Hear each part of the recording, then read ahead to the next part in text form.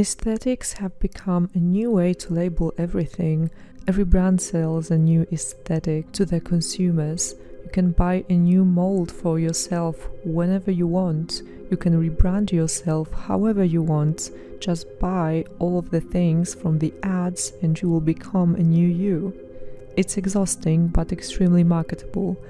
A quick solution to more severe issues. The aesthetics don't necessarily connect the people in a more meaningful way, other than, oh, I like the look of it. It's very shallow most of the time and weirdly individualistic, which is very interesting because people most of the time want to feel included and belong to a community.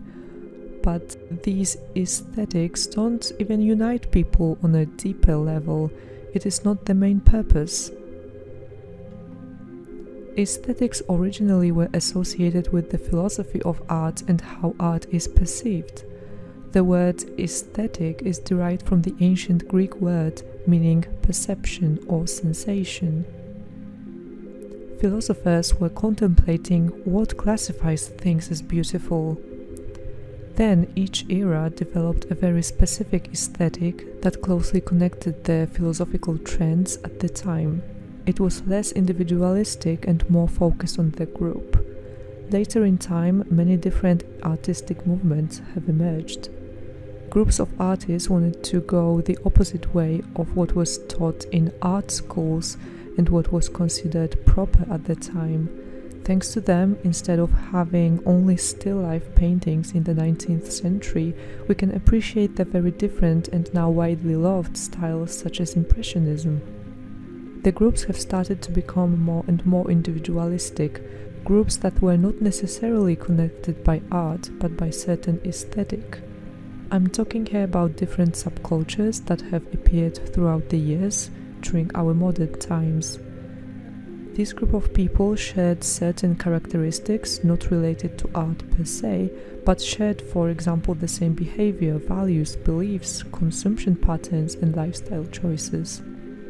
It was important that everything they do differs from the mainstream culture. Nowadays, the culture of subcultures has basically died out. We have modern aesthetics on the rise, and there are hundreds of them. There is a label for every little thing you can think of.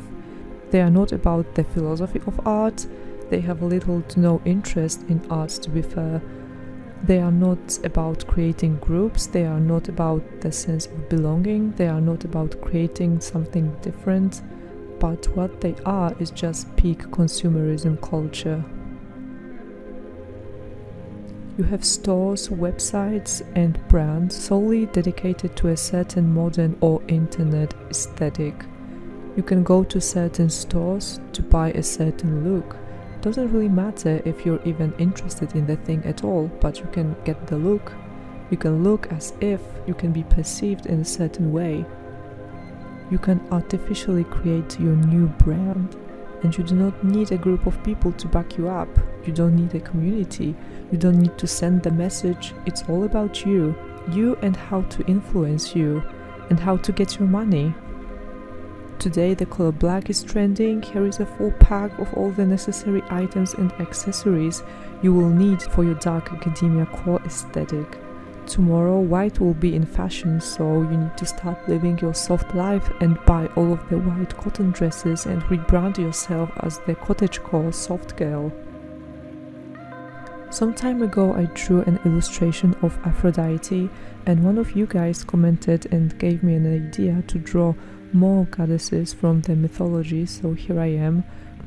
For this artwork, I decided to focus on Persephone just because I wanted to draw something with flowers and tulips for spring. In this video, I will focus more on the aesthetics associated with Persephone rather than the actual myth. I don't know why, but my first thought about Persephone is always how she pulled both aesthetics off so well. She was the queen of dark and light, she ruled the underworld and was the goddess of spring. Two very conflicting aesthetics. However, because both of the aesthetics create her full story, she is not defined by one or the other. they both go in harmony together and create a very unique combination. I think a lot of people constantly overthink their personal style, especially now when we are always bombarded with new trends and styles to choose from. And it doesn't matter what type of style their art style, their dress style, how they act, home decor, anything and everything. There are plenty of videos on YouTube on how to create or achieve a certain type of style, and you can just go online, buy all of their new shiny accessories, and voila, here's your new different style then people are still unhappy because it's not really personal. Now you just look like a copy from a mold. Now you just look like insert an aesthetic name here. Personal style, whatever it relates to, cannot be fabricated. There is no formula, it's a mixture of who you are, which is what I think is so hard for people to grasp because it's not easy to be fully yourself. Of course, you will always be influenced by different people, media, and experiences, but that is what will essentially form your personal style. It should show you as a person. Before publishing this video, I showed a preview of this drawing of Persephone in my community tab and I asked who you think it is. The first answer I got was correct, which made me really happy, but it just showed how the simple yet distinctive style makes the character so unique. A lot of famous people have that one specific look that they have been repeating for years, which is now so characteristic for them that we immediately know who that is just by looking at the silhouette or a certain item. To give some examples, Anna Wintour her bob's hairstyle and sunglasses, Donatella Versace, blonde, dramatic eye makeup, Steve Jobs, black turtleneck jeans. No matter what is trending, this is their look and this is what they're known for. Moreover, as in these examples, of course, all of those people are rich, but to have a signature style does not have to be extravagant or expensive. It's just the constant repetition of the things you like and feel good in, or feel good presenting to the world. I tried to make this artwork similar to my previous Aphrodite drawing to create a continuation or a series of artworks with the mythology theme. My characters are usually expressionless, Hello Kitty style. I decided to draw Persephone also looking down, thinking and contemplating. My Aphrodite drawing has a very simple background as I wanted to focus more on anatomy and flowers. And for my Persephone drawing, I wanted to include some elements of Greek architecture. I decided to go with the caryatid, which is a female figure taking the place of a column. In the myth, Persephone had her own personal companions, whom then Demeter turned into half bird sirens as punishment for failing to prevent her daughter's abduction. I thought the female pillars of the caryatid could represent how none of them did anything to help her, thus acting as marble statues.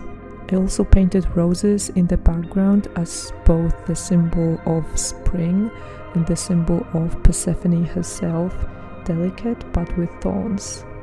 I also wanted to repeat the same technique I used to paint the roses in the drawing with Aphrodite, just so the two artworks may look like a series. However, in the Aphrodite drawing, I used them as a symbol of beauty and femininity.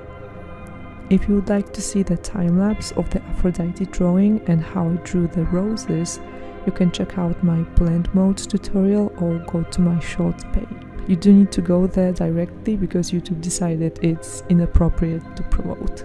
LOL. My previous train of thought video was very well received, so I decided to make something similar. Half essay, half stream of consciousness. Maybe I will make more videos like this in the future. These are kind of fun, I treat them like diary entries I hope you enjoyed this video. Please share your thoughts about the modern aesthetics or about my artwork in the comments.